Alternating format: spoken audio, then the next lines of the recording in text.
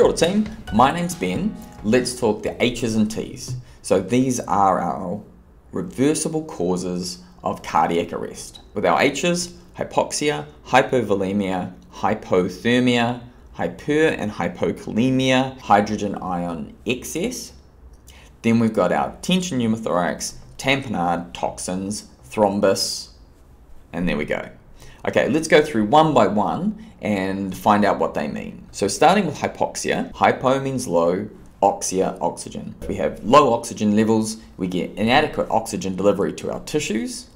If this happens, we get anaerobic metabolism.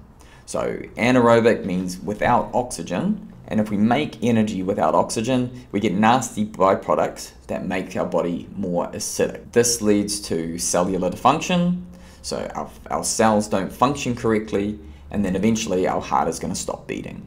So what type of things could cause hypoxia? Drowning, choking, hanging, or respiratory causes like severe asthma. And this unfortunately is quite a common cause for our pediatric cardiac arrests. So our next stage is hypovolemia. So remember hypo, low, volume, emia in the blood. So decreased blood volume. How's this going to be a problem? So if we have decreased circulating blood volume, this is going to reduce the venous return, so blood coming back to the heart. This is going to reduce our preload, and then it's going to reduce our stroke volume, so blood leaving the heart, reducing our cardiac output, and therefore we get decreased blood flow to all our important organs, including the brain and the heart, leading to secondary cardiac arrest. So what can cause hypovolemia? So I mean the obvious one is bleeding out but we can't forget we can have to have internal bleeding that is also going to lead to blood loss and conditions like distributive shock like sepsis anaphylaxis is going to cause massive amount of vasodilation and capillary permeability so fluid can leak out of circulation in that way as well. Next h hypothermia. So how does this affect us? So hypo low thermia temperature if we have, if our body temperature lowers, this is going to slow down our metabolic rate and our enzyme activity. So this is how we create our ATP.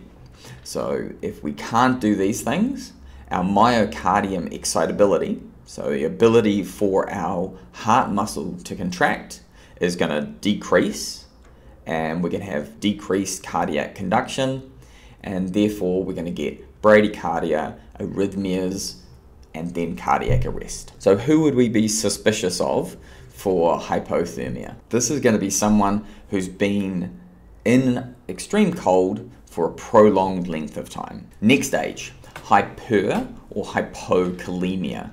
So the K in kalemia stands for potassium and emia in the blood. So why we need the right amount of potassium is because it's incredibly important uh, in our cell membranes because remember the movement of ions creates that membrane potential, makes the inside negative, the outside positive, and that is how we send messages along cells, so nerves or muscle tissue, and how we stimulate the, them to contract. If we have too much or not enough potassium, it's going to affect with our nerve conduction and muscle contraction, potentially leading to cardiac arrest. So who are we suspicious of this? Crush injury patient. If someone's had a crush injury, then circulation has been occluded. The cells at the site of crush or the cells that are no longer receiving blood flow are going to die. When those cells die, they're going to release the potassium from inside the cell to the extracellular space and into the blood. If that if that crush injury is sustained, then it's okay until the crush is released because then we get a flood of potassium back into circulation. And this is where we can lead to arrhythmias and cardiac arrest. So other people could be renal impairment. So if our kidneys aren't doing their proper role of filtering and excreting, so if they excrete too much or not enough, and then a drug overdose. And our last H is hydrogen ion excess. So this is just a, a funny way of saying acidosis because our free hydrogen ions, when they're floating around in the blood, they're going to make us more acidic.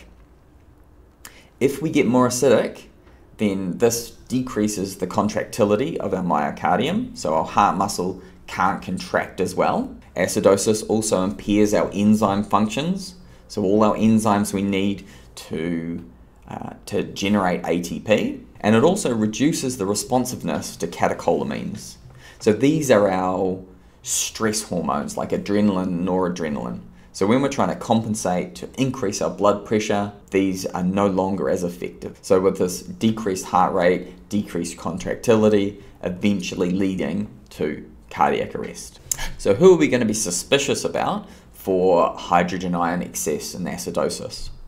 So an obvious one would be diabetic ketoacidosis, which is poorly controlled type 1 diabetes or in children who have a new onset of type 1 diabetes we get a buildup of ketones in the body, and those ketones increase our acidity. Other times when we can get acidic, potentially later stages of sepsis, when we've got poor transport of oxygen and therefore anaerobic metabolism building up all our acidic waste products, or renal failure. If our kidneys can't excrete our hydrogen ions and they build up, again, we can get hydrogen ion excess and acidosis.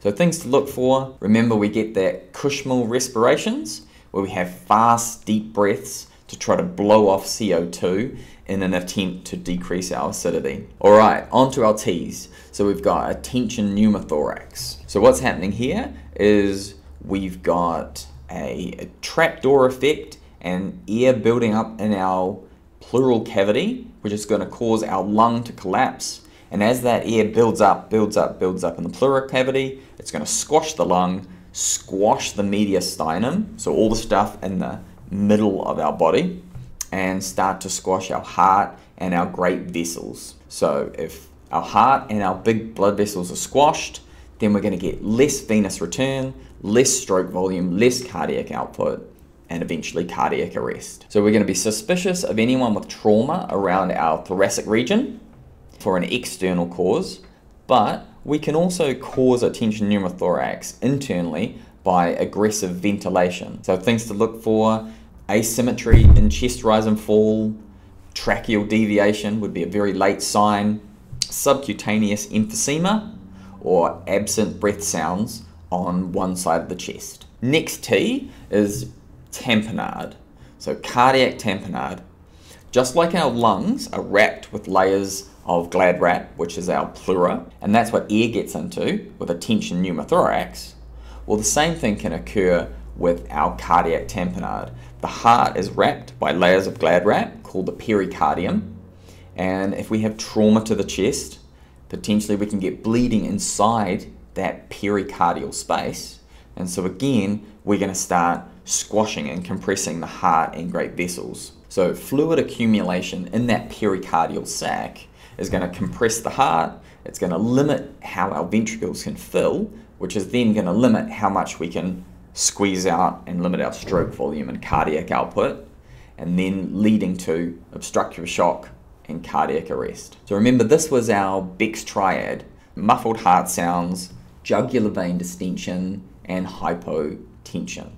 Beck's triad for cardiac tamponade. So, yep, definitely trauma but we can also think about post-cardiac surgery or pericarditis um, to cause a cardiac tamponade. Our next T is toxins. Toxins, poisoning, so ingestion of any toxic material. We're thinking, has someone overdosed on medication, cleaning products, taking too many recreational drugs? Looking at things like pinpoint pupils, altered mental status, unusual odors, so what's happening here? Well, a toxin can depress our central nervous system and then interfere with our myocardial conduction or myocardial contractility, getting hypoxia, arrhythmias, and moving on to arrest. So it's going to be different with different toxins. And then our final T is thrombus. So a thrombus is a blood clot. What can cause this? We can have a pulmonary embolism, that could come from atrial fibrillation, having a clot form, and then that clot breaks off, goes through our right atria, right ventricle, and into the pulmonary circulation, gets stuck, and now we've got a thrombus or pulmonary embolism cutting off our blood supply to the lungs. If this happened, we've got obstruction of blood flow, therefore hypoxia, and our heart fails, and then cardiac arrest. The other thrombus, of course, could be our myocardial infarction, which is our primary cardiac arrest. So if we get a thrombus in one of our coronary arteries, that's going to cut off blood supply and our heart tissue is going to start to die and then we go into cardiac arrest. All right team, so there are our H's and T's and a quick refresh on the path that could lead to cardiac arrest. All right, happy studying.